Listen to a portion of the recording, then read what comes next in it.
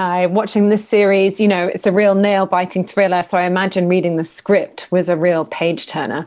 What was the appeal for you, and in particular to play each of your characters? I don't know, Marina, if you want to start. Well, of course, you just said it like reading the first episode and wanting to read the second one immediately.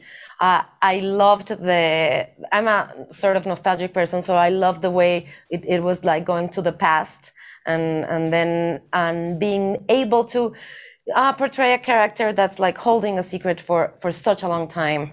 And how would that like do to her emotions and to her relationships? And for you, Jose? Yeah, it was basically the same. Uh, it happened when, when when I read it, and and also the possibility of of portraying somebody very far away or, or very different from what I was doing before. Uh, something, uh, someone apparently uh, very emotionally unstable and and and, and breakable and you know working with marina and the, the rest of the cast it was it was a no-brainer mm.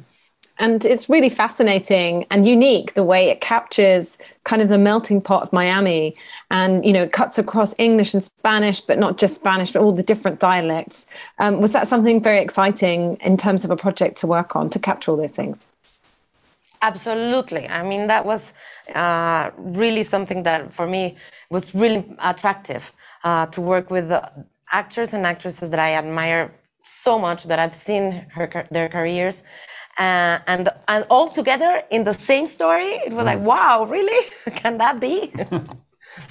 yeah, it was fantastic. And Miami is obviously the, the, the perfect place for, for that you know to have from from spain from argentina mexico colombia the us so it's like you said, it's it's like the perfect melting pot. Uh, it's it's uh, the weather, uh, everything. It's just uh, it's a it's a sexy place where anything can happen.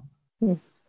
And was it a lot of fun, kind of working with your counterparts, your younger selves, the other actors and actresses that played you? And how did you kind of work together, I guess, to keep some common thread, even though, of course, you know, you're very different when you look back at the past lives and, and then the current selves?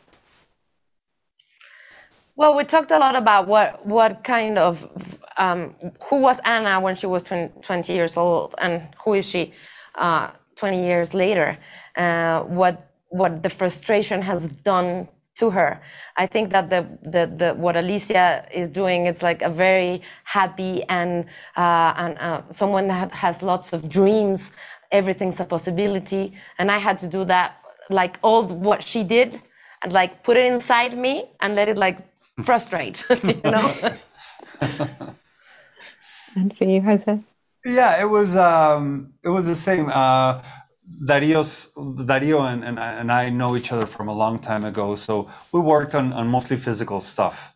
Um, because the secrets that the, the characters have, uh, we we've kept during the the twenty years uh, that the story goes through. And in terms of what people can take away from watching it, it feels like there's some key themes about, you know, the aspirations we have when we're young and that those don't always unfold when we're older, but also that none of us really are pure good or bad, but we're just a product of the decisions we make through our lives. So what do you think people will take away from watching it? Well, exactly that. Mm-hmm. That's that's a great way of putting it. Uh, nothing is black and white. There's a lot of gray, and uh, and and we have to, you know, accept the consequences of our actions um, when it, it, they're good or bad, it doesn't matter. No, they're going to put us where we have to be. Hmm. Yeah, I, I love what you said because I, I think it's true. These are characters that do things not necessarily that we would like approve of all the time, or but they're not like terrible bad people also. So it, that makes them complex and so interesting to to portray. Hmm.